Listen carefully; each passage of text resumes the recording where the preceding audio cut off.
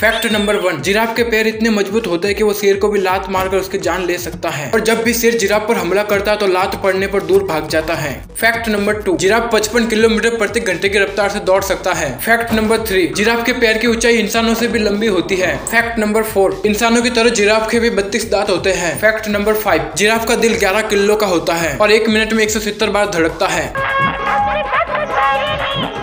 तो दोस्तों लाइक करके सब्सक्राइब करें।